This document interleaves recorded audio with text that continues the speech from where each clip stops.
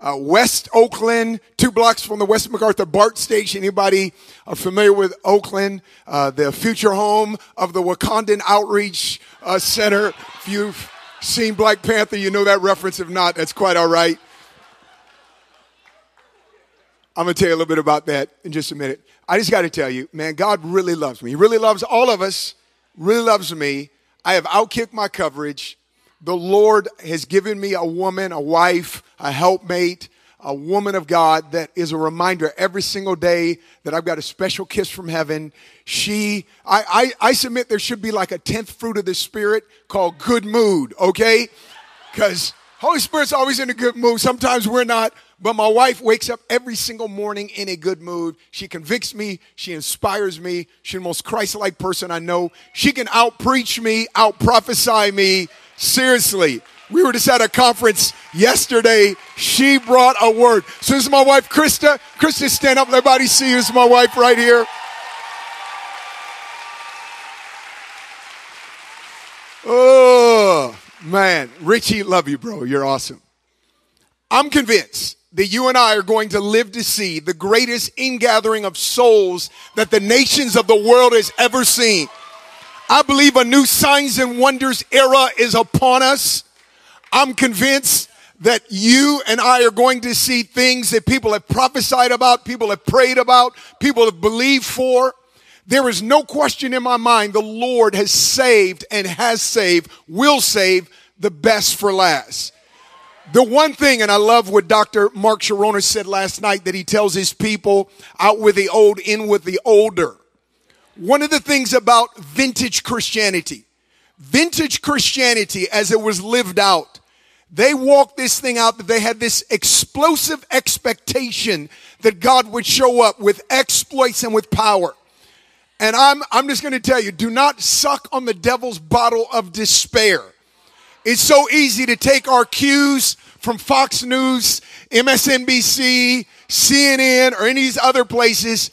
And I'm telling you, when Jesus says, as I hear, I judge, how many of you know he wasn't listening to the local news? He was listening to heaven.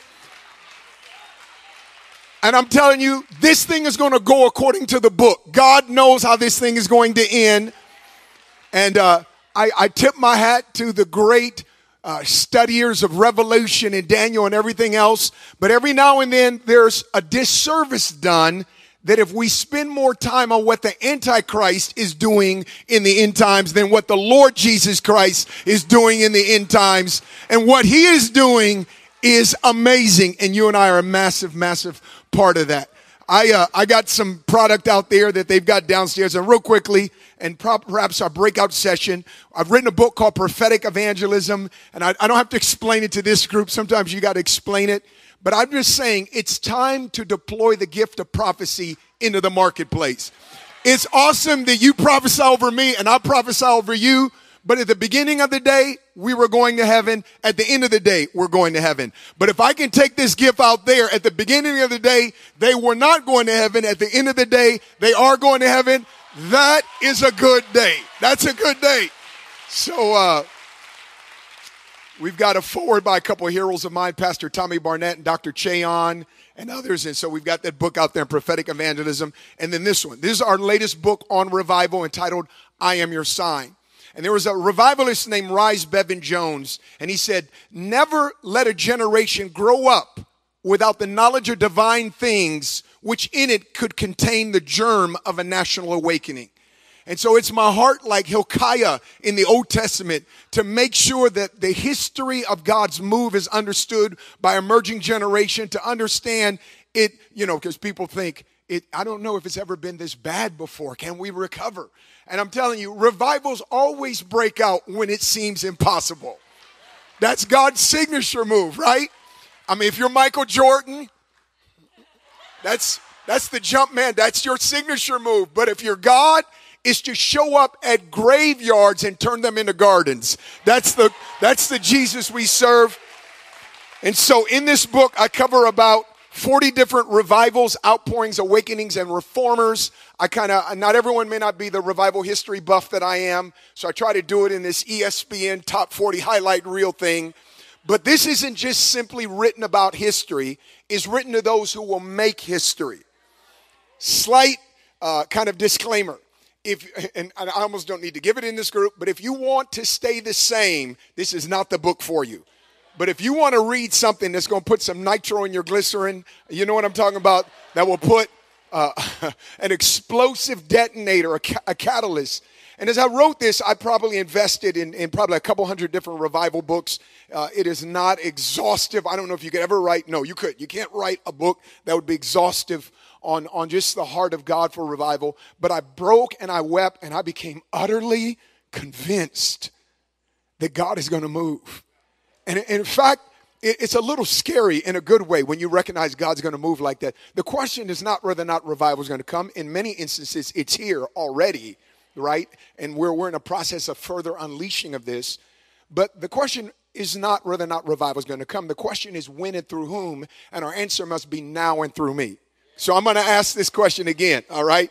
Revivals is no question whether or not revival is going to come but I want you to respond in a moment now and through me. But revival needs to come, and the way it's going to come is. Awesome, awesome, awesome. So I'd like to give this book away. Who would like? I, oh, oh, I shouldn't have. I shouldn't have. Okay, sir. Absolutely, absolutely. Yay, Jesus. Sis, I, I do have something for you. Final thing. We did a two DVD set, and uh, we, fir- uh, we filmed one uh, that we, we shared at uh, Bethel School of Ministry and it's about how to fellowship with the Holy Spirit. In the 90s, I went and spent time in Argentina with Claudio Freidzon, uh, uh, Carlos Anacondia, and others. And I was just in my quest, in my hunger for revival. I just asked them, What's the secret of your revival? And I sat with them through interpreters. And, and essentially, this was what they responded to me. The secret to our revival was really no secret at all. Uh, one, they hit upon desperation. But the other thing they said is a rediscovery of the person of the Holy Spirit. And so I did an entire CD about how to fellowship with the person Holy Spirit. Paul ends his letter at Corinth and prays that the love of the Father, the grace of the Lord Jesus Christ, and the fellowship of the Holy Spirit be with you all. Uh, uh, the love of the Father, you know, maybe we get a B, you know, grace of the Lord Jesus Christ, we're growing in it, you know. But I think fellowship of the Holy Spirit, North American Christians, and I'm part of this, I, I don't know that we do real well in that, but I believe that God is going to turn this thing around. And He is the key and uh, how many of you understand we have to go Holy Ghost? We, we had an inner city term. Don't bring that Kool Aid to a gym party. In other words, if you're going to come to a gym party, you got to bring strong drink. So if we're going to come and show up on the stage of human history, we got to go Holy Ghost or go home, okay? Don't bring that Kool Aid to a gym party. And uh, my sister came up. I, I feel so bad you came up. I want to give this to you. In the second DVD is how to develop a prophetic ear. My sister right back. Oh, I'm sorry. Yes, yes. Come on. I'm, I'm like the black Drew Carey. Come on down. Right there. Drew Carey does the Price Is Right. You guys didn't know that. If you got a Bible, go, go to Genesis 26. Genesis 26. I'm, I'm truly, again, I'm honored to be here. My heroes are here uh, man, and and I, am just so glad we're we're so blessed to be able to be at a gathering that has this kind of emphasis, this kind of focus, and the anointing and the mantle that's on this ministry, Global Awakening. Thank God. Genesis 26, and we're going to start reading at verse 12. It says, Then Isaac sowed in that land and reaped in the same year a hundredfold, and the Lord blessed him. And the man began to prosper and continued prospering until he became very prosperous. You think we could squeeze the word prosper in that verse anymore? The thing about the Lord blessing you and prospering you is not everyone is going to celebrate that. There's an urban term, young people would say haters gonna hate. So, in other words, when God blesses you, some people are going to get jealous and it could incur attack as well. So, watch this, it's actually going to happen. For he had possessions of flocks and possessions of herds and great numbers of servants. So the Philistines envied him. Aha, there it is. Now the Philistines had stopped up, say, stopped up, all the wells which his father's servants had dug in the days of Abraham his father, and they had filled them with earth. And Abimelech said to Isaac, Go away from us, for you are much mightier than we. Then Isaac departed from there and pitched his tent in the valley of Gerar and dwelt there. And Isaac dug again, say, dug again, the wells of water which they had dug in the days of Abraham his father, for the Philistines had stopped them up after the death of Abraham. He called them by the names which his father had called them. Also, Isaac's servants dug in the valley and found a well of running water there. And we're going to stop. Many times in the, our vocabulary, the English vocabulary, we confuse words. Sometimes the confusion is understandable. For instance, the word serial and cereal. I can understand why that would be mistaken. One is the profile of a psychopath, right? The other is the contents of Captain Crunch, okay? But you, you got to understand the context, right? Sometimes there's other words that maybe a letter can differentiate them illicit, elicit. One is speaks of something forbidden, the other means to draw or to invite something. But every now and then we confuse terms that's confusing that we confuse them. And these are two words normal, typical. How many of you know you go to a doctor, he or she, you're, you're, you're coughing up the Mucinex men, you're slightly feverish, you're shaking a little dizzy, and he or she, the doctor, they check you out, they run you through the battery of tests, and they say to you, what you have is normal. How many of you know they've confused the term normal and typical? Because what you have is not normal compared to a healthy person. What you have is typical with a person that has your condition. So often, when we think of North American Christianity, and it's going to sound like I'm negative, but I'll be positive in two minutes, promise you. So often we compare ourselves by ourselves, and what we think is normal Christianity isn't normal. It's typical of North American Christianity, but when you compare it to the book of Acts, it's not normal, it's subnormal, it's abnormal. And the reason why we need revival is that in revivals, God gives you a new normal. In revivals, God shows you what normal ought to look like. And until that happens, you don't know because you're looking at what you're looking at and kind of like, hey, we've got great presentation, we got great lights, we've got great media, we've got this going on. But then when you read the book of Acts or you understand church history, it could break your heart to know that we've settled for something less than what God would want to give us. I gave my life to Jesus Christ when I was in college. I grew up, as I mentioned, inner city uh, Oakland, long story. I'm not going to bust out my testimony, but suffice it to say, it is a three part Maury Povich episode, okay? So can't bust it all out now. I was raised by a grandmother that was an alcoholic. My dad was not in the picture. Then he was in the picture. Then at nine years of age, my dad was murdered by policemen. Thank God for godly policemen. I've got relatives and friends but these policemen, particularly the policeman that uh, uh, shot my dad, had a background in a racist hate group, profiled my dad. My dad committed no crime, didn't look like anyone had committed a crime, but one day they gunned him down. And so I lived in the aftermath of that. Grew up in high school experimenting, trying to grasp a hold of something that could answer the empty place in my heart.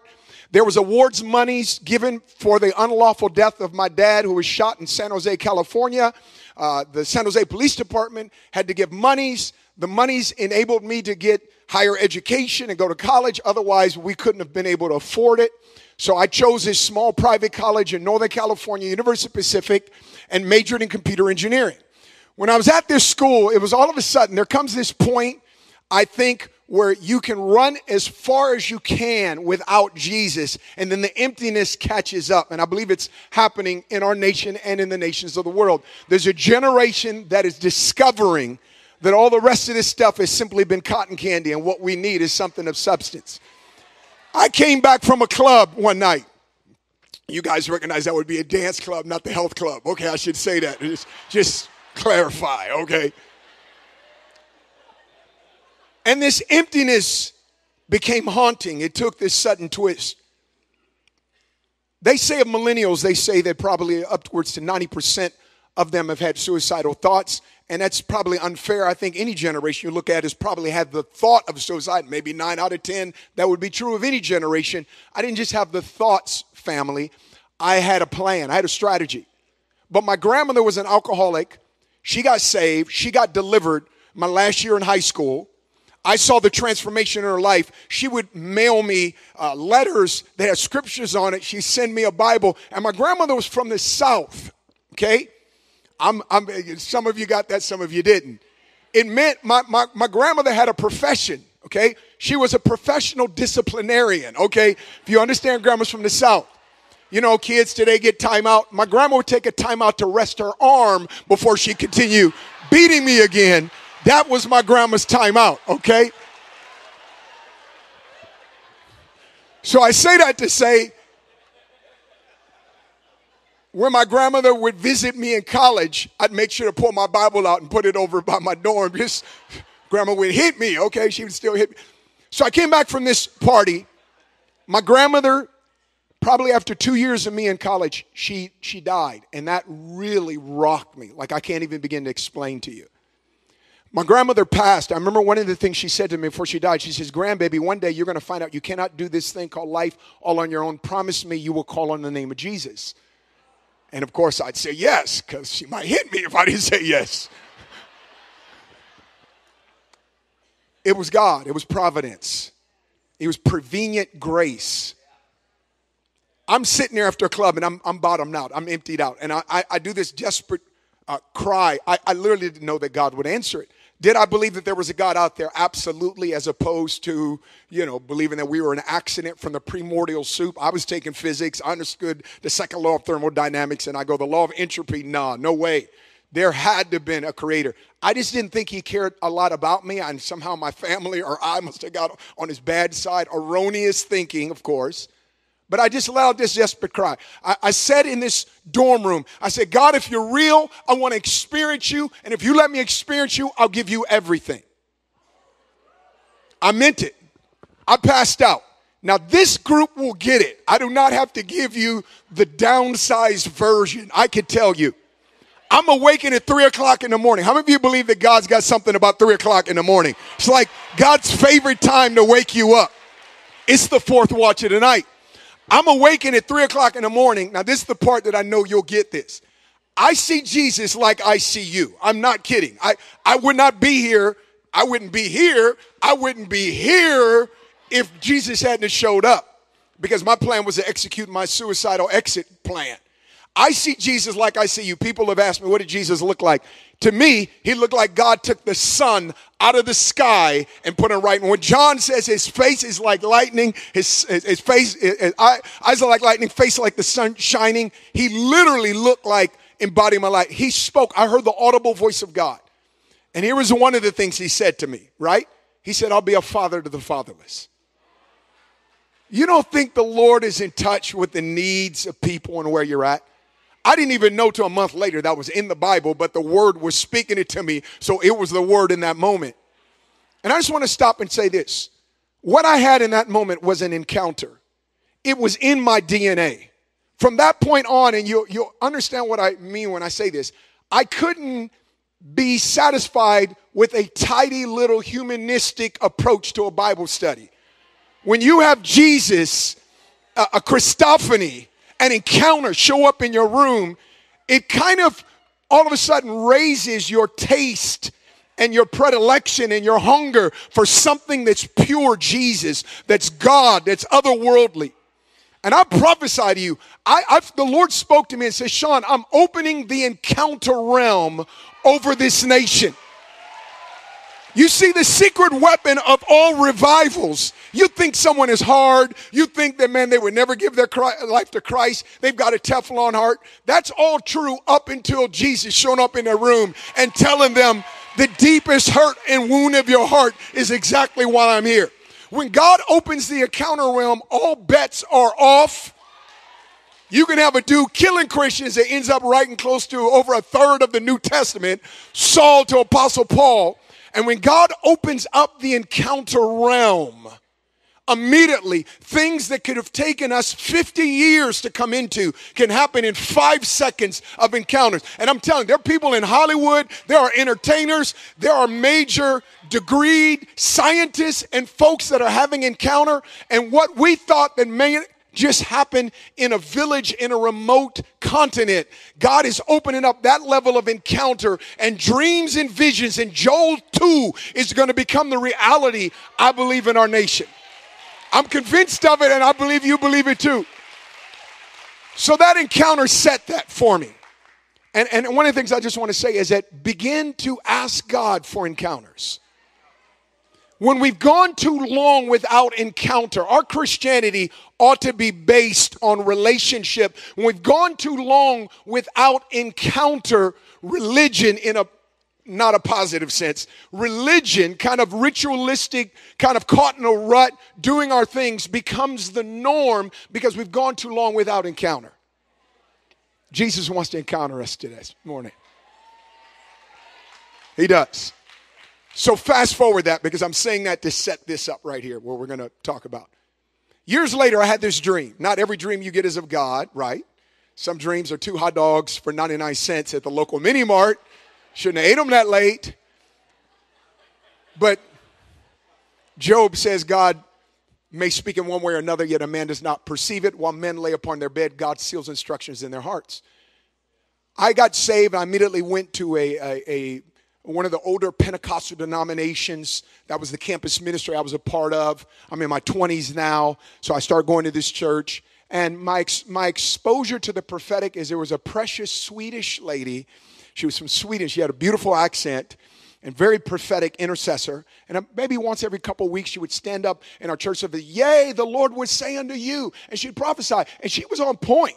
I mean, I would feel God, but it, it kind of almost caused me to believe that maybe only God wanted to speak to us once every two weeks because really, at that particular time, I, I wasn't exposed to a lot of the prophetic or God speaking. I knew God spoke, but like what, what we would call higher level revelatory release.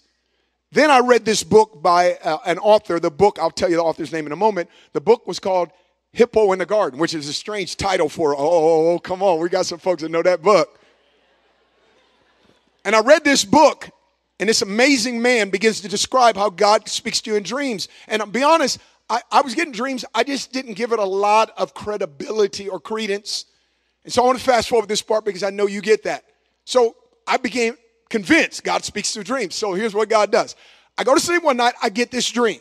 In this dream, the author of Hippo in the Garden was an amazing prophet, pastor, apostolic leader by the name of James Ryle. He pastored at that time a vineyard church in Boulder, Colorado. He'd written this book. James Ryle is in the driver's seat in the car. Cars and dreams represent for me ministry or life. So he's in this, my life or ministry. He's in the driver's seat. I'm in the passenger seat. We're going someplace. I don't distinctly remember where we were going. Pastor James turns to me. Again, I've never met this man. I only read his book. And the way I recognize him is on the back of the book. They usually have a picture of the author. So I'm like, oh, I know you. You're the one that wrote the book, you know. So he turns to me and he prophesies. He says, Sean, you are going to see a national outpouring of the Spirit. He says, You're going to see a generation raised up that's going to be armed and dangerous against the enemy that will dismantle powers and principalities over cities. Then he prophesies this third thing you ever have a dream where you wake up and you didn't know you were dreaming till you woke up? I actually thought it was real. And I woke up and I immediately pull out my John Paul Jackson dream journal, right? I started writing down, I'm going to see a national outpouring of the Spirit. Like, wow. I'm going to see a generation raised up. I mean, I could quote because this is, the dream was so vivid. Is that the word? And so I write down, I'm going to see a generation raised up that's going to be armed and dangerous against the enemy, that's going to dismantle powers. And I'm going, wow, that's awesome to see a generation. And then I go to write the third entry, and I cannot remember it for my life. You ever do that? You get up and you only got part the dream? So I said, Lord, what was that? I prayed. I fasted. We have intercessors uh, and, and this time I'm, I'm, I'm in ministry, I'm, I'm calling uh, our intercessors and say, please pray. And, and, and I want you to really pray because, you know, some people can lightly pray like they bless their roast beef sandwich at Arby's. I'm not talking about that. I want you to lose your weave for Jesus, okay? I want you to roll around in dung and roll back. And, and I'm, I'm talking heavy duty intercession. This is what I need, right? They're praying. I, they're not getting nothing. I'm not getting anything. I go to do an outreach at the University of Colorado at Boulder.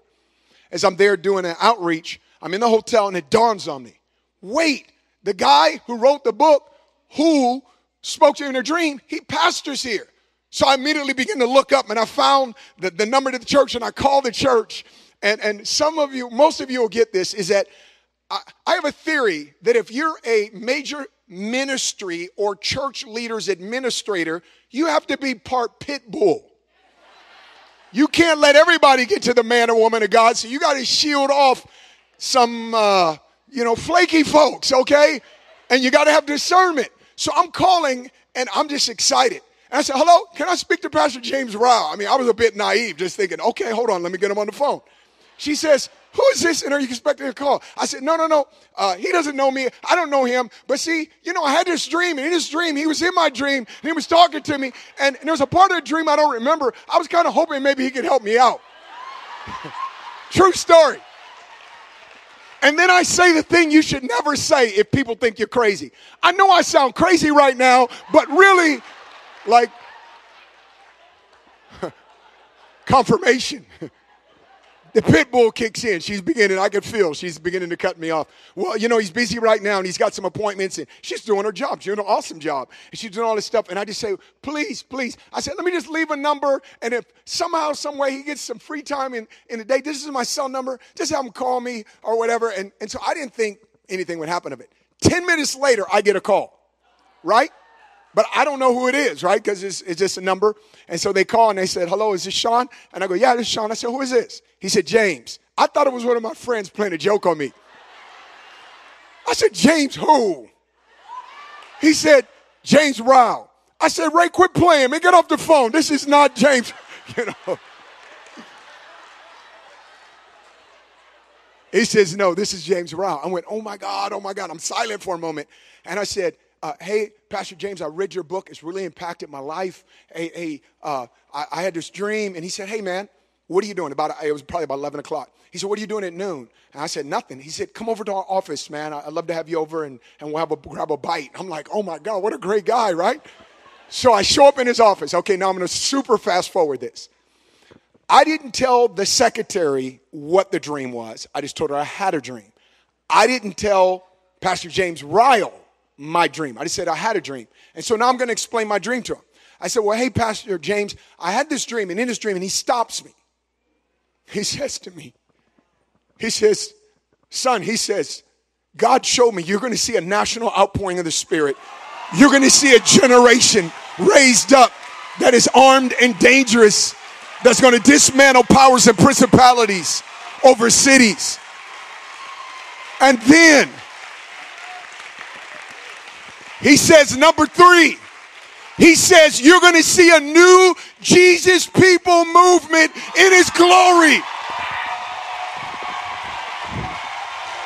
Oh! Oh! Oh! Woo! Mm. Woo! You guys be seated. Y'all got to Excuse me, I just went primeval. I just felt that thing again. James and I became friends. We, we golfed together, even though I don't, it's not for me, it's finding the white ball. That's the game for me. He was golfing. And I remember probably about a decade ago, we were doing a national men's conference together. And I was sharing this story, and he was smiling. And then all of a sudden, it hit me. And the Lord says that that word was like a time release capsule and the Spirit of the Lord says, now is the time for that word to come to pass. To the ancients, water as it is today, water is life.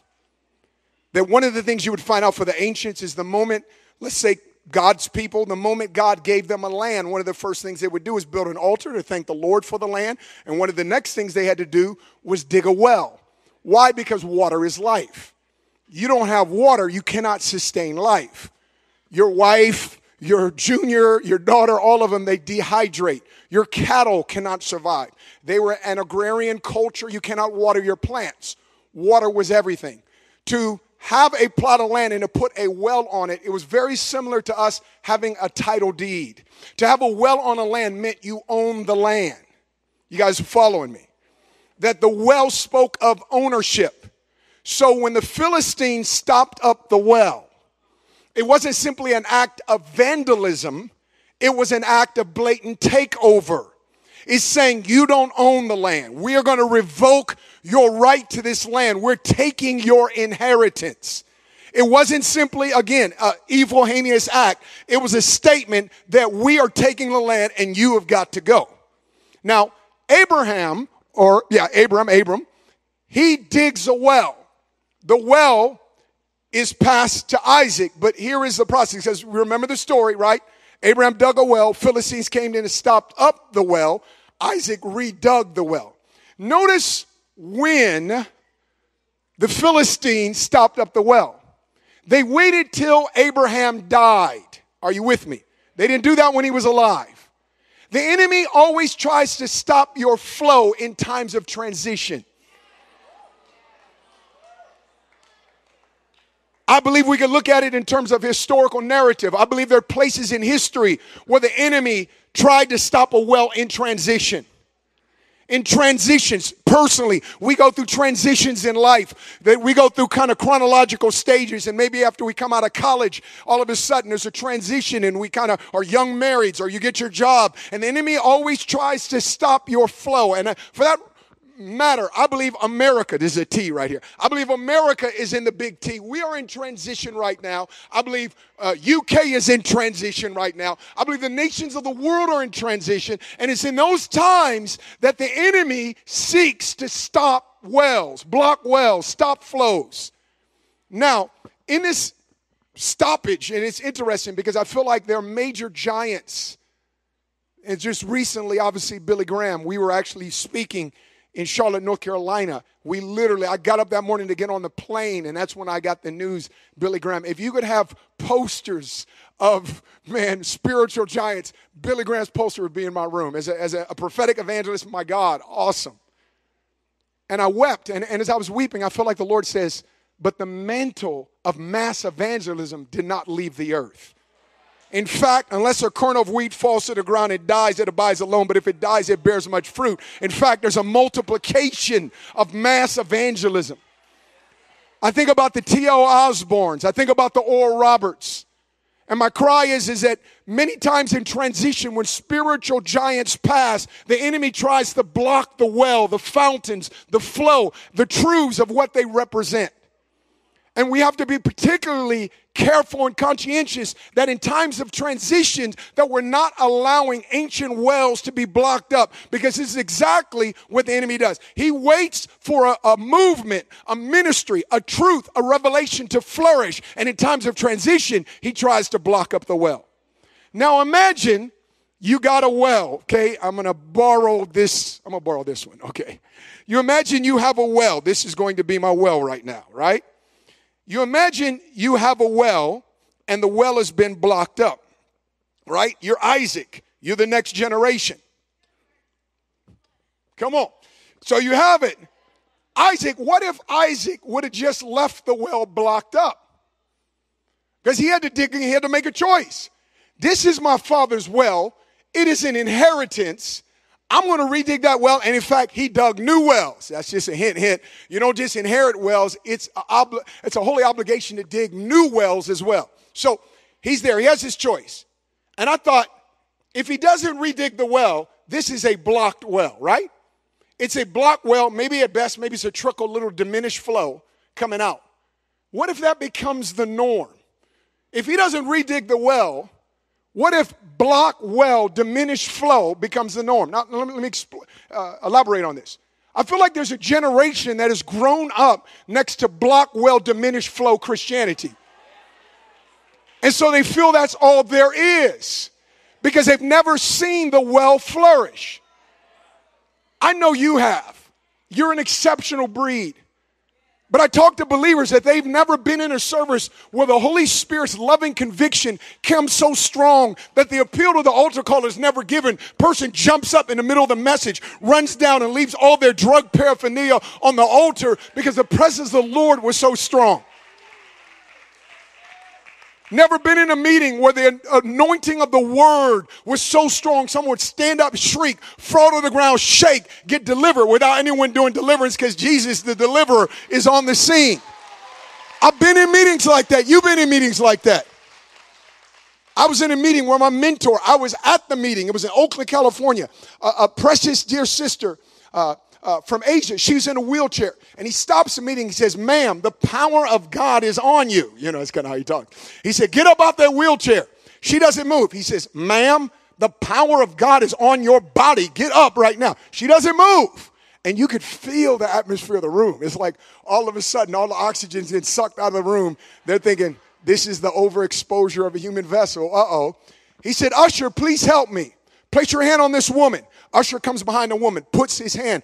She's startled, jumps up. Her little shawl, whatever, falls off her lap. She's looking totally shocked. The woman takes a couple steps, and then all of a sudden she starts walking. She starts running back and forth.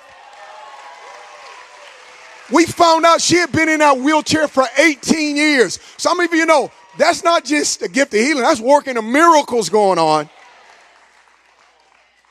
Everyone starts standing up and clapping except me and another college student. We hit the floor bawling. I read about this and now I'm seeing this. It changes you. It changes what your norm, what you believe for, what you think is on the table for you. But if all you've had is a generation has grown up against Blockwell, diminished flow. We're going to bind and gag the Holy Ghost, put them in a back room, pull them out on Wednesday small groups because we don't know the Holy Spirit may upset the first time visitor coming in. We got a Blockwell, diminished flow Christianity and we think that's normal. It's not normal. It's not. It's not normal.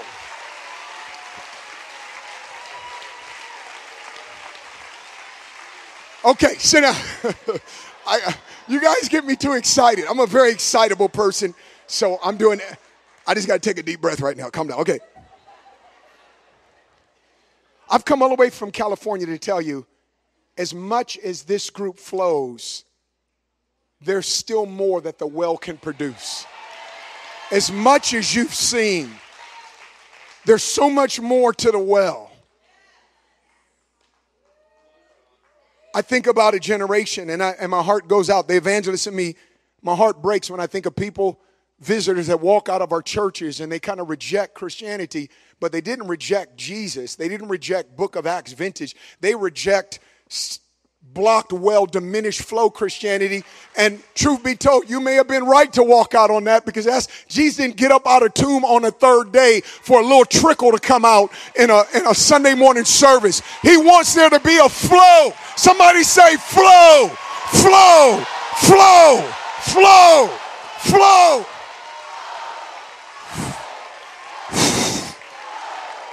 woo, woo, woo.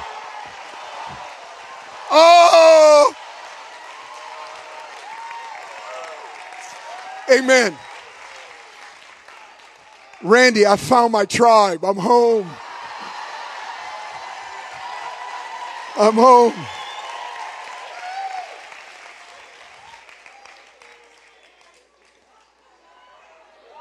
I think that there has to be a generation of well breakers.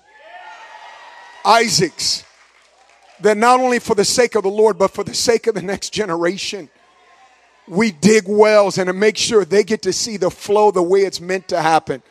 They get to see a pedal to the metal, full throttle Christianity, not a knockoff discount version of the holy reality, but the real deal. Jesus shows up.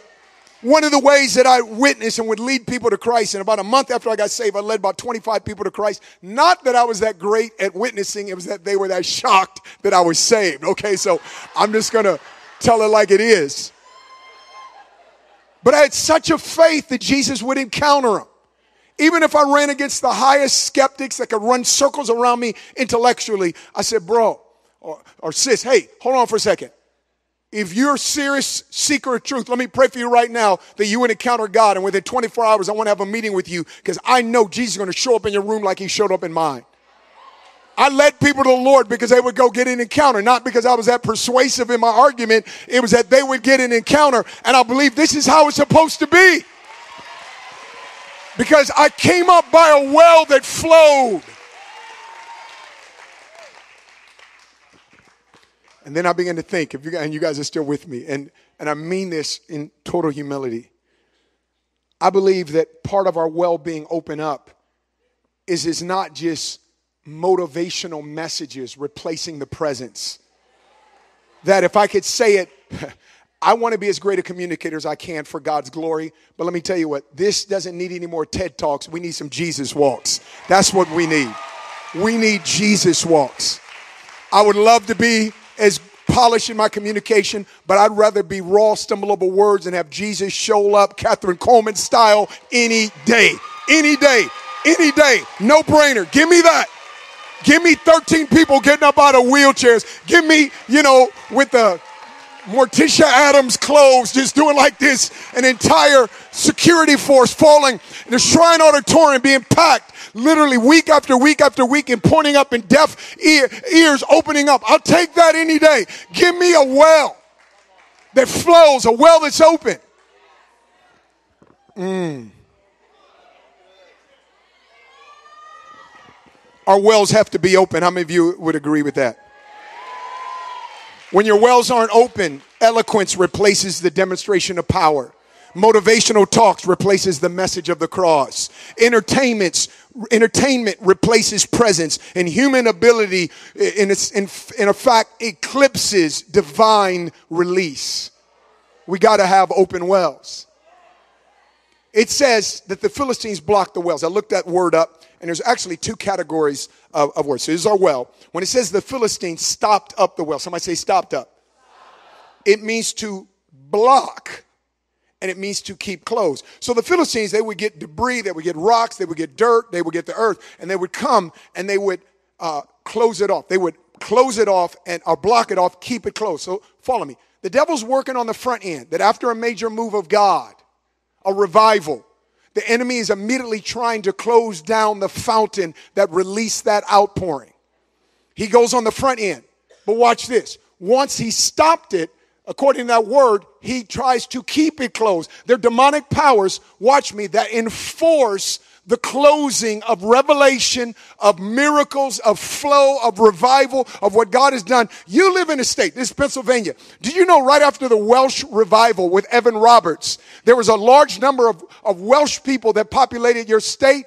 They were like, our people my mama, my daddy, my cousin, my uncle, you know, their experience of power of God. And because they tapped into that well, though they were separated by this big old pond called the Atlantic, a revival broke out in Pennsylvania. It's in history. In late 1904, after early 1904, Evan Roberts has his encounter that spills over, and the little girl, Floria Adam Evans, says her statement. And as a result of that, a well opens up over here. So revival hit here, and then it went cross over to Azusa Street. You were the pre Azusa Street well before God used W.J. Seymour. And Frank Bartleman. That you were the pre Azusa well, you were the pre Azusa move. The enemy not only tries, so what the enemy do, he tries to block the flow, he tries to block a well, but then he tries to keep it closed. Now here's the second shade of meaning. You're right. Those are the first shades, so they're very similar. The word the Philistines stopped up the well also means this. It means to disguise. It means to camouflage. So the enemy not only fills the well up and tries to keep it blocked, he tries to hide it so you don't even know it's there that they would try to put so much dirt around it that you'd be like the Israelite and you're just kind of walking by and you don't even realize that mound right there is a well that could release life that could sustain you. Why? The enemy tries to hide us from wells because we won't dig if we don't know the wells are there. If you don't recognize that there's been prophetic promise and intercession and, and the saints have cried out and God's promise over a land, if you don't know it's there, you won't fight to get it open. So the enemy goes back to the camouflage thing. Maybe even on a personal level, maybe your well could be your quiet time. Enemy not only tries to close you off, he tries to disguise it. We get so distracted, we don't even realize, and we're so busy doing this stuff that we're not just getting time for him to pour into us. Remember, Jesus said, If anyone's thirsty, let him come to me and drink. Out of their innermost being shall flow rivers of living water if there's a problem with your flow, the problem isn't with your flow, the problem is with your drink because Jesus said, if anyone's thirsty, let them come to me and drink out of their innermost being shall flow. If you want to address your flow, you got to address your drink. If your flow is off, it's because your drink, you're not drinking enough. That's one thought. Here's the second thought Jesus expects your drink to become a flow. He expects it. It's good you're drinking, so you are a group that's drinking. Well, God expects there to be a flow of His compassion, a flow of His word, a flow of signs and wonders. That when we leave the double door, stained glass windows, that there's something that can impact the marketplace, your office cubicle, your university, whatever it is. Your drink ought to become a flow. Come on, touch somebody, say your drink ought to become a flow.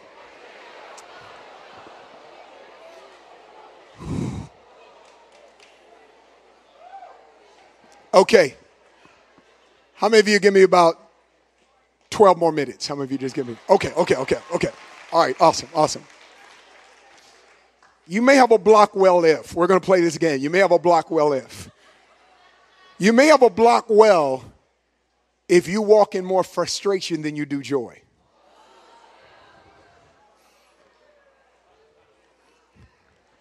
I call it spiritually crispy. You ever get around spiritually crispy Christians.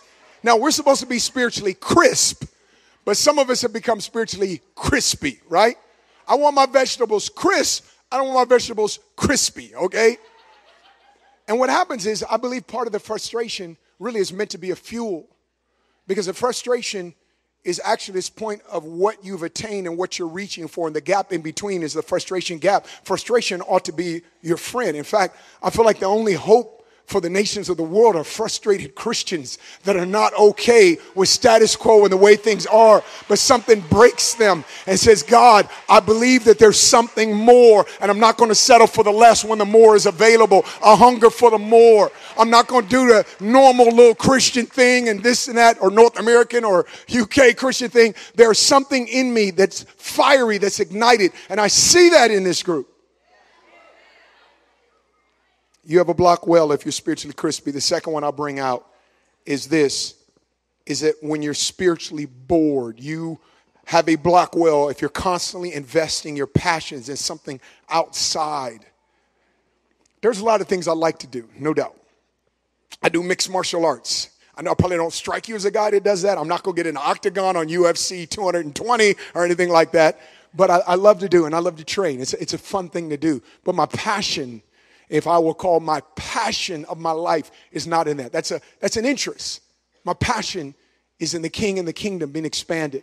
And throughout my life, I think there's always this place where we've got to check and see have we become spiritually bored and our passions are being invested in something outside. At the end of the day, end of the day, man, all this stuff fades away. We got but a moment. Our life is but a vapor. And then we stand before the Almighty. And I, am thinking, man, I want our lives to be invested in something that will ring for eternity way beyond. That's thinking like a well. Abraham dug a well because he's thinking about Isaac. That well was going to be passed down from Isaac to Jacob. And if I can get a worship team to get ready, I'm already kind of beginning to signal my last little turn here. Why would the enemy fill up a well? Well, they wanted to, of course, take your land, say you don't belong there. But think of what happens. When a well is filled up and you let's say you're at a point where you still know the well is there, you go there and it's all filled up, and then your other well's filled up, you become dehydrated. Spiritual dehydration is on the opposite end of the spectrum of revival. For some people, even Christians, the wells of your salvation are beginning to dry up, and we got to take a deeper drink. Do you know, and I'm an inner city Oakland kid telling you this one, right? You got to dig deep to get fresh water. You got to dig below the water table. The uh, deeper the water, the purer the flow. The deeper the water, right? The more expansive the water is. That's why we don't, sh- shallow waters are dangerous. That's why we're not going to go outside in a parking lot and drink out of puddle, right? Your dog may drink out of that puddle. Your dog may leave something in that puddle, but you're not going to drink because we know that surface waters are dangerous. I believe it's something that can be translated or correlated over to the spirit that surface shallow waters of Christianity can be dangerous if we stay in that too long. I believe people are tired of the superficial. We want the real. We want authentic. We want to encounter God.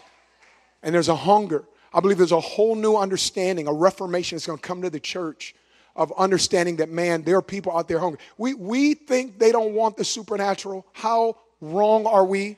you got shows called The Supernatural, Lucifer, Legion. Come on. We're trying to take the Holy Ghost and, and kind of making sure he's more palatable if he's even in the room, but we'd rather go another route because we're afraid. They've grown up on supernatural cartoons, played supernatural video games. Every other trailer of every movie coming out is supernatural. And then we get this doofus look in our eyes and think the supernatural might be overwhelming. No, that's what they're hungry for. That's what they want. They want every intellectual I've ever witnessed to. We still reach out to universities. They all want a reality they can't wrap their man cerebral cortex around. They all hunger for something beyond. Whew. Isaac understood something. So let me give you this. First of all, five quick points of being a well breaker because I don't think it would be fair to talk to you about breaking open wells. You're a well breaker and not give you some pointers as to how to do it. So if you want to take notes, cool. If not, hey. What makes you a well breaker? How do you come? Number one, if you're taking notes, you can be a well breaker. You have to have a scent for water. Makes sense, right? You can't find the water, you can't dig the well. You have to have a scent for water. I believe more than anything, more and more, we need to have a scent for Holy Spirit. We have to understand that, hey, man, we have our program, we can do our thing, our daily routines and everything. But, man, my question is this Can Jesus call an audible in your midst? I got this thing all mapped out. This is how it's going to go and everything. And, man, I'm telling you what. we have so programmed stuff sometimes on our daily lives. We've so, man, organized and scheduled out everything that Jesus can't show up and call an audible. Right? Come on, this is the state of Pittsburgh Steelers. Come on. Big Ben has walked up to the line. He's read the defense. Big Ben Roethlisberger, however you say his name, right? He's read the defense and go, I know the coach said that, but based on the defensive packages, we need to change the play. And I believe that there are times that those little Holy Spirit interruption excursions can release more power per moment than anything we can imagine. The Lord can, man, in a moment direct you to someone on the street and you can see someone get saved, get delivered, get filled. But Jesus has to call the audibles. You have to have a scent like, hold on. Hold, wait, wait, wait, wait, wait.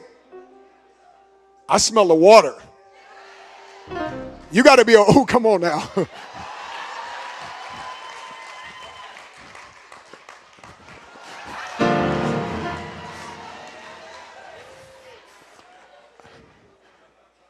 I know the single single girls, you have to have a scent for water on that perspective. You start sniffing. Now you smell like Hennessy. I don't know if you smell like water, okay? Number two, I'm gonna move a little quicker.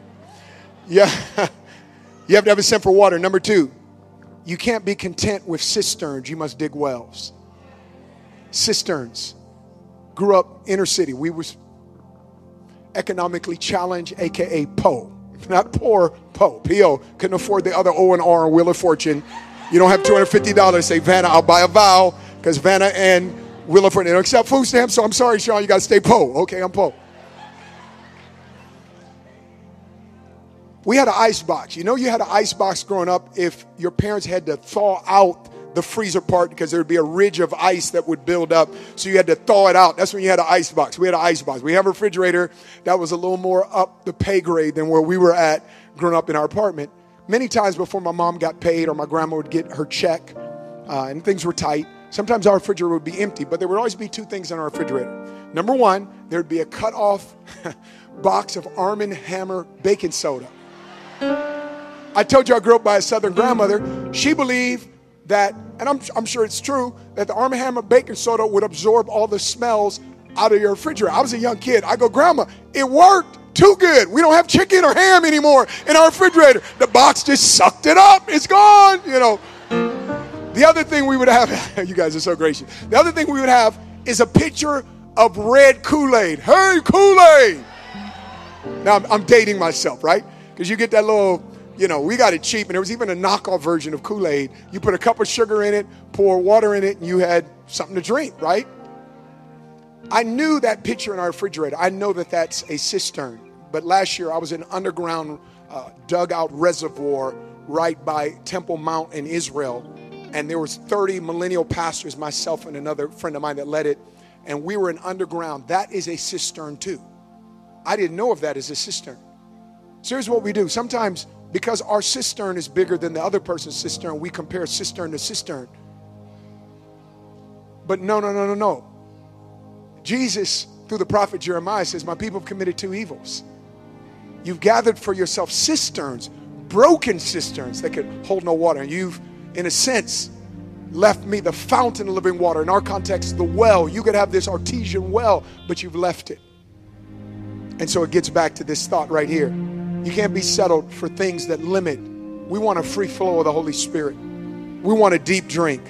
Number three, you have to have faith to strike water. You have to have faith to strike water. People say, Sean, you're disciplined. And, and I don't know. I, I, I'd like to think so. But I don't know. You know, like discipline, like, man, daily, man, I'm digging out rocks, man. Because all revivals first begin with a clear out. The wells are wells of revival. They had to get out the rocks. Uh, Isaac redug the wells. All revivals begin with a clear out. Asbury College, 1970, a chapel service began that began to go practically two weeks straight that influenced so many different people that it spread to Canada. It spread across the United States. At the time when young college students were burning flags, their hearts were burning for a move of God all because in a chapel service, a guy that led it at this uh, small Christian college opened it up for some testimonies. And all of a sudden, historians would describe, I write about this in our book, like a lightning bolt leaped from one person to the next, sharing their testimony. And I thought they were repenting of sins, and that's what started the Asbury revival. Will, Wilmore, Kentucky. They began clearing out rocks. Sometimes you get weary in just rock clearing just getting dirt out and just walking and dropping off this rock. And then all of a sudden you're digging up this dirt, dropping off this dirt. And, and we call this discipline, and it is. But I don't know that my motivation is just to get rocks out. I'm not focusing on the debris to be removed, but the water to be received. If I'm disciplined, let me tell you what it is. It's because I'm water driven. The whole while, I'm not thinking about how much work this takes because I wouldn't do this if I didn't think at the end of the day I'd strike water. You're not going to get up at your church service for early morning prayer crying out for revival in your region. You're not going to cry out for the young people in your neighborhood that are losing their lives, if you don't believe at the end of the day you'll strike water. You won't go overseas and be trained and equipped in signs and wonders if you don't believe you're going to strike water. You wouldn't have flown and paid for a hotel and what it cost you to be a part of this sold out conference if you didn't believe at the end of the day you'll strike water. All well breakers have this truth that they understand. We believe we are going to strike water. That's why we do what we do. We do it for His glory. But I believe that you and I will strike water. That the nations of the world's wells are going to begin to open up once again. That God is going to water the earth from the internal wells of revival. Okay, all right. Five minutes. How many give me five minutes? All right, all right. Okay, man. Yeah, we do. We, he told me I could go to noon, but I, I just want to be sensitive. This is a conference, right? So we can go a little bit, right? John chapter 4. John chapter 4. Read this, preached on this as an evangelist many times. Jesus tells his disciples, Go get food. I, I got to go through Samaria. He walks up to a well. Now, watch this. And I write about this in our book, Prophetic Evangelism. Jesus was drawn to the well before the woman at the well got to the well. Sometimes in prophetic evangelism, you're drawn to the where before the who gets there. You always go to this Starbucks, but you don't know why today you're going to go to this Starbucks. You need to sit there for a moment because all of a sudden you're going to find out the reason why you felt the need to come to this Starbucks. So that lets, lets me know that maybe there was a little more significance on the well than I initially anticipated. You know the story. The woman comes up to the well, Samaritan woman. Jesus says, Can I have a drink? Obviously, the gender and race issue was immediately brought up. Jesus said, Anyone who drinks from this well will thirst again. I love this in Evangelist. He was pointing out the utter inability of this well to fulfill your thirst. Girl, what you thirst for, this well is not going to handle it. But if you take a drink from what I'm offering you, it will become a well in you. Deep. And she says, You have nothing to draw with, et cetera, et cetera, et cetera. Conversation shifts. And, and ultimately, he says, Hey, go call your husband. She doesn't want to drink. Go call your husband. She says, I've had no husband. Or, or, or excuse me, she's, he says, Go call your husband. And Jesus said, I don't have a husband. He says, You're very accurate in that statement. You've had five husbands, a man you're living with now, you're not married to. Jesus didn't say that to shame her. I believe he was pointing out the desperation of this woman. Because you had to know she wanted to be married. She's hoping this sixth guy would marry her and dignify, because here she is in the middle of, a place where this was not cohabitation. That was not a place that would be looked on favorably for her or as a place of empowerment for her at all. She wanted him a man to marry, but she's desperate. And Jesus began to direct us towards what she really was hungry for. The whole conversation went to worship. She walks into her neighboring village there in Sychar, Samaria. And she walks in this village. She tells people, she's an evangelist. When you drink like that, of that well, you got to tell somebody because a drink becomes a flow the entire group comes back and they come to Jesus, and we find this from the narrative of Scripture. They said, We no longer believe. This is the towns folks to the lady. We no longer believe because of what you said. We now believe because of ourselves. And I thought, wow, I preached on it many times. What an awesome passage. God, man, met the needs, uh, uh, uh, uh redemptively speaking, of a needy Samaritan woman. But then things started to pop up. Sometimes you begin to read Scripture and then a revelation begins to percolate. Begin to feel it. And I thought, huh, he was drawn to the well first. And in fact, the Bible says it was Jacob's well. Okay, Genesis 12, God shows up to Abraham. That's where we began. Abraham, he's Abram. And he says, Hey, I'm going to give you this land. It's called Shechem, Shechem, Shekar, Sakar, same. Okay, may not be pronouncing that right, but you get it.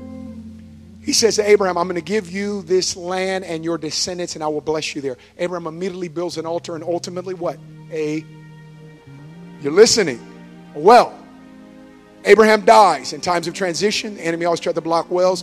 Isaac had to redig the wells and dug new wells, right? Isaac passed those wells down to his son Jacob. Abraham, Isaac, and Jacob. In John 4, it's called whose well? Jacob's well. Jacob has 12 sons. The second youngest, Joseph. Joseph's special, has a dream. Father has favor on him, makes him a nice coat. His 10 older brothers throw him in a pit, sell him in the same. And by the way, my definition of a dysfunctional family is when your brothers sell you, throw you in a pit, take your jacket, and sell you into slavery. You come from a dysfunctional family. Okay, so he he you can relate. You know the story of Joseph. Ultimately, he interprets the dream, saves the economy, is, is, is in a place of governmental authority. His brothers, he reveals himself to his brothers. They go get his dad. Now, here's the, the scene. We, we, we said all that to get to this. Abraham, Isaac, and Jacob. Jacob is old now, sees his son Joseph. He feels fulfilled. And he says, Hey, son, you got to promise me this, though. You cannot bury me here in Egypt. Essentially, I'm not, uh, uh the wording, you got to take me out there and bury me. And he's buried in Shechem by the well. Promise. Remember, three generations, four, at this point, four generations early, God shows up to Abraham he says, I'm going to bless you here. He broke a curse, the Canaanite curse, off a land, and he put a well there, speaking of ownership. All of a sudden, it goes down generation, generation, generation. And in fact, Joseph himself is buried pretty close. He's buried in Shechem. Scholars uh, would acknowledge that. So this well has all this promise. It's buried, it's underneath the ground, it's a prophetic word. So here's what I submit to you. What if when Jesus walked up to the well in John 4, what if it wasn't just, and he would do it for the one. Somebody say the one. What if it wasn't just to bring salvation to a needy Samaritan woman? What if Jesus, the living well, was there to unlock a well, to revive and to bring life to a revival narrative 1500 years in the making? That when he did, in the spirit, something spilled over in the surrounding community that Abraham was initially promised a prophetic word hovering. Hidden seed, revivalists Comenius and others talked about hidden seed in the ground that sprouted to the Reformation. Hidden seed, there's hidden seed in your area, in your region. And as this thing spills over, all of a sudden these people are fulfillment of a promise given because the well breaker showed up at a well and broke open a well. What would happen if we broke open wells in our nations? I know there are many nations. I submit to you, there's a new outpouring, a new overflow, a new move of the Spirit, a new harvest when we say yes. And here's the bottom line we got to get back to digging. We got to get back to digging. I, I don't want to make it sound like it's a works thing. But the kids always talk about hashtag just grind or grinding it, grinding it out. And people will grind it out with their professions. They'll grind it out going after their sports teams and filling out the NCAA brackets when that was in or their fantasy football. And then they come to church and they don't do that anymore. Hashtag hard work, hashtag all that. And then we come and we'll put all our passions and efforts there when we're saying, man, we're in the hour of the greatest harvest of all. And I'm saying, let's be well breakers. Bow your heads. Jesus. Lord, I thank you, God, that, Lord, that there is a room full of people that you died for, your blood was shed for, that you love. That, God, I believe that there are wells. They represent, in the context that I feel like the Lord's breathing on for us, the Word of God, promise, prophetic words, former moves of God original intention because God's original intention over an area remains regardless of how far left or right that region or those people go. God's original intention stays in place and the wells reminds uh, remind us of original intention. Lord, I believe that this is a room full of well breakers. And God, it first begins by getting our flow back.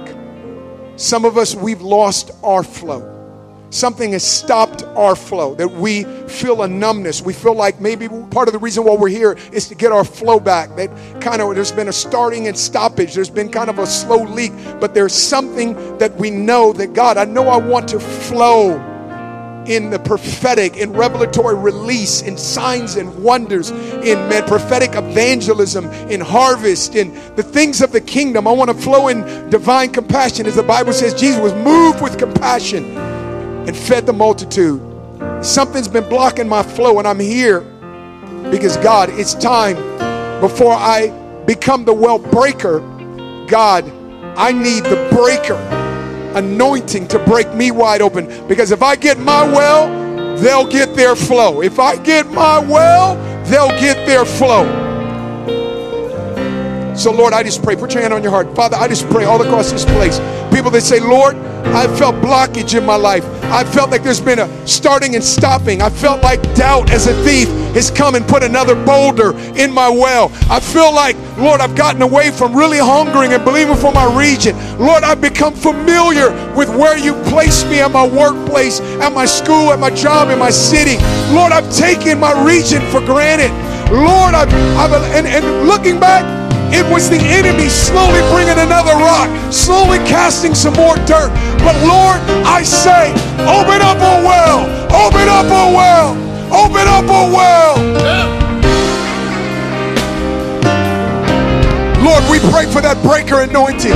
We pray, go ahead, bro, just begin to sing over us. If you want to come to this altar, come. There's rooms on the sides, in the altar, wherever, but you just find a place. Lord is breaking something off you. There's a new flow. There's a deeper place. Deep calls unto deep. The sound of your waterfall.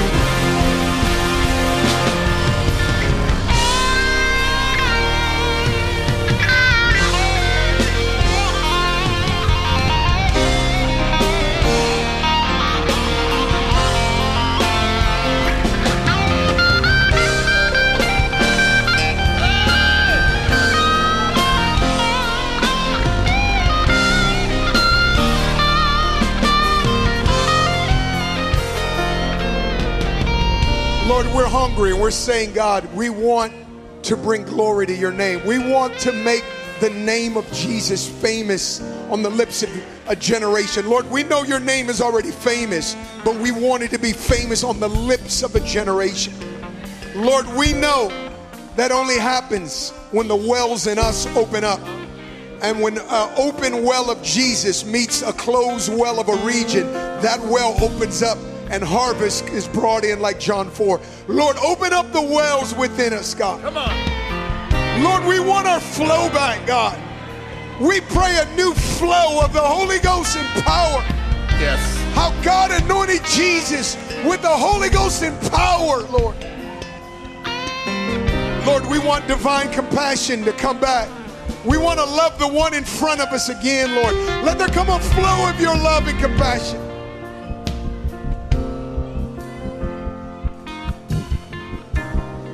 Lord, just begin to reveal maybe to some of us, maybe areas where you're calling audibles. Lord, we're listening. We're ready to make the adjustments, the alignments. Lord, we just pray, God, right now, call audibles. Open our ears to hear. Lord, we cry out for encounters. We cry out for Holy Spirit deviations from our intended plans and agendas. Lord, we want you. Yes. Omaha.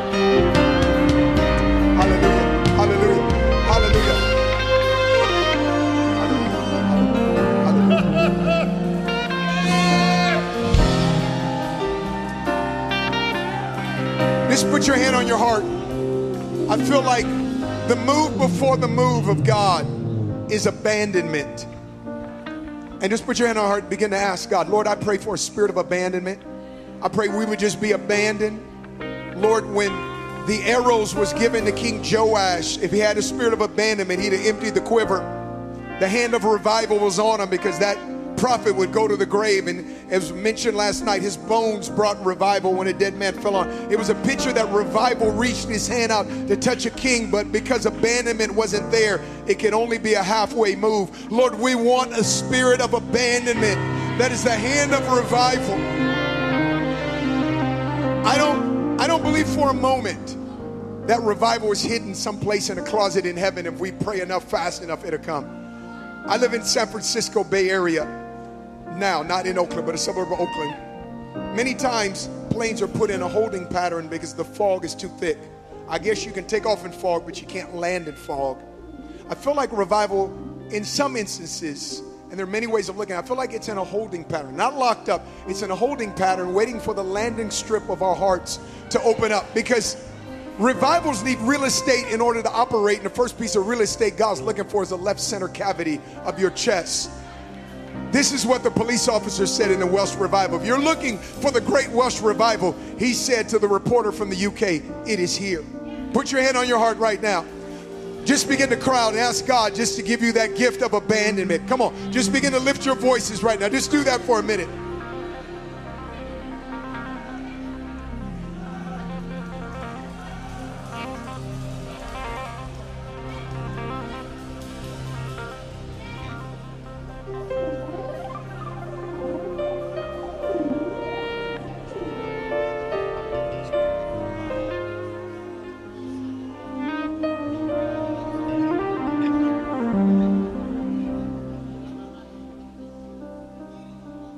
God, make us hungry again.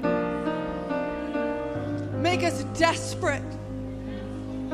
Sever any ties with complacency and apathy where we have settled into a routine with you.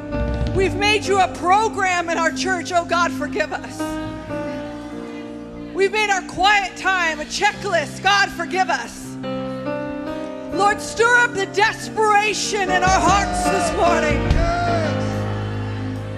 Put a hunger in us that nothing else satisfies. God, remove the debris that has blocked up the wells that have for us to flow.